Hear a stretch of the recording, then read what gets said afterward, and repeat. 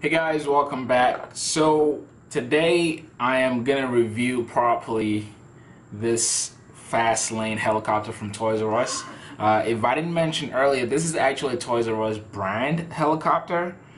Um, and the packaging only has mainly these two things. There's nothing else in there else I would have shown you. Um, I don't want to. This is not a mini helicopter. Okay, this is a mid-size outside helicopter. Although on the box it said indoor outdoors, but this is definitely outdoors. You can fly it indoors, but you're gonna be flying it at a risk of like destroying things. One, it's quite loud inside and also again because of the size it's it's not your typical let me let me do a little comparison here look at this is a Syma S109 and if you can see how this is in comparison let me move the transmitter a little bit out of the way look how this is your mini helicopter here and right this is what you would consider mini and this is what you would consider nano Okay, if you look at all three helicopters, this is nano. Let me try to get it side to side. So you've got your really, really tiny one, you've got your mini, and I would say this is somewhat of a mid-size. I don't know the exact measurement, but this is definitely much bigger. Now, this helicopter is light and it's not honestly like when I carry these two together if you remember my review for the Syma, I said one of the things I like about it is that it's very stable, and I think it's because of the weight.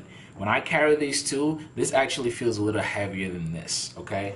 But this has bigger uh, blades um, and a longer tail, uh, which I'm hoping, or I was hoping would allow it to be more stable. Now, I've flown it both inside and outside, and I can tell you it's definitely an outdoor helicopter, although it's not able to withstand a lot of wind. Not even a lot, but just a little bit of wind will change the flight movement of this thing.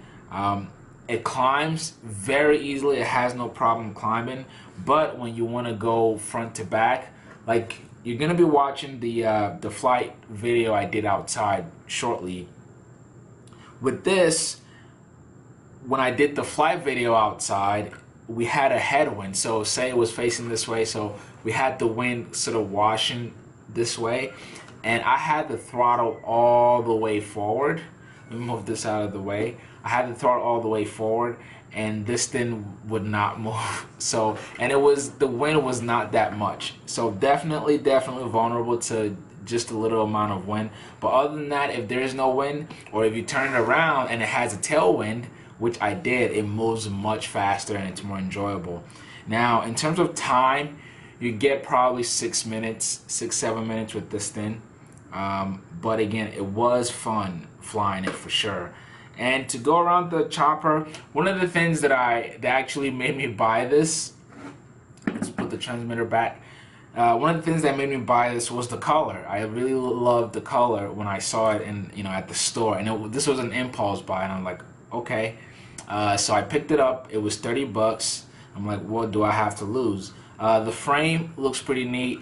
Uh, again, I like the the fake carbon display, carbon fiber display here. Um, and again, because it has a longer tail, uh, this may be the biggest uh, helicopter I've bought so far, being that I really just started flying this thing. So I'm, I'm kind of graduating up and up and up.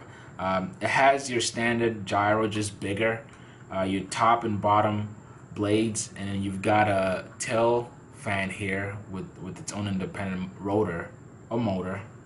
Um, I almost never take these things apart. I've only taken one helicopter apart, but I bet it's the same mechanics inside, so I'm not even going to go through that. Um, the transmitter, the remote control. So with the remote control, let me get it so you can see it properly. You get your standard throttle and maybe not standard. Uh, if you saw my review of the Syma, one thing I loved about it was that the throttle is not a spring one. So that means that you can sort of set your altitude to whatever you want. So it moves freely. So you can set it to middle, you know, whatever, whatever how altitude you want, and you can basically let go of the throttle whenever you want to move around and just control this. And this controls your movement. and all that. You've got your trim right here.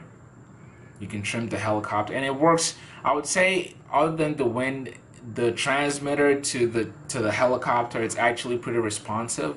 So I can respect that. Um, you've got your on and off buttons here. Uh, these, I'm still not sure what they do, but they're there.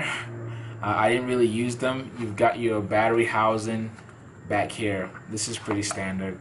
Um, now, I had fun flying this, honestly, and I would say for 30 bucks, you should definitely pick one up if you're looking for something, you know, that you can fly outdoors. And one of the cool things I love about this helicopter is that it's a perfect beginner's helicopter if you are just starting out outside or maybe graduating to something bigger and a little more faster. Again, this is not as fast, but it's a perfect beginner helicopter for outdoor flying. Now, one thing I do not like about this helicopter is charging it. The only way to charge this thing is one, see you have your charging, let me see if I can get the camera close there.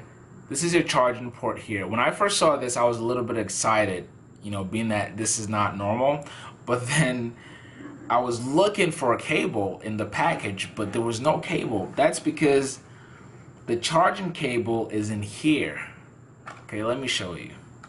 The charging cable is in here, and here is the twist. Well, it's not a twist. Some some helicopters have this. You can charge the helicopter by doing this. This is how you charge the helicopter.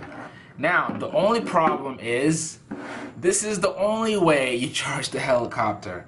It means you have to buy batteries on and off, and that sucks. What I'm probably going to do is get some rechargeable batteries for this, but I didn't like the fact that I could not charge this through, say, a computer.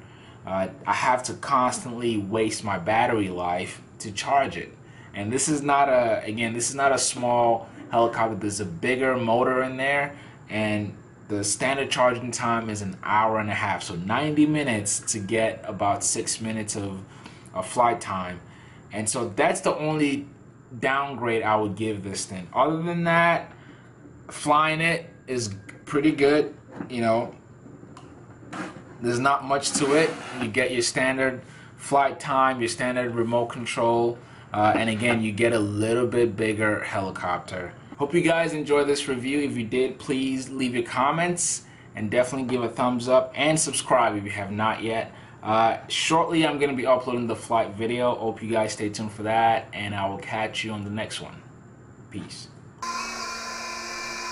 So it hovers pretty good anywhere you put it, uh, especially inside where there's no wind.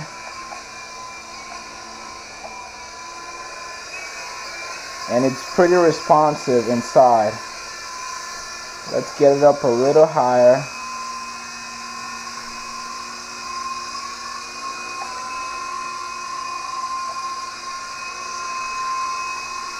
And there it is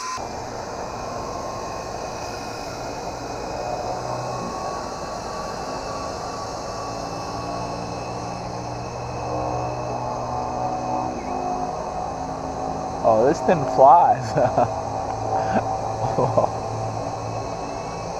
Alright, come on back down.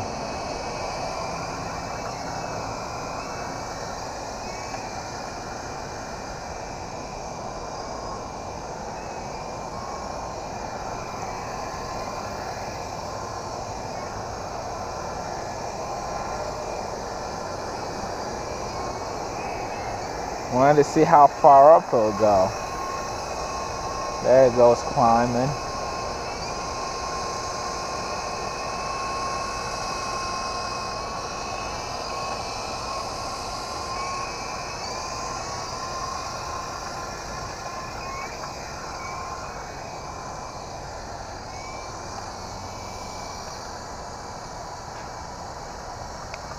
Yeah, it's about to die, guys.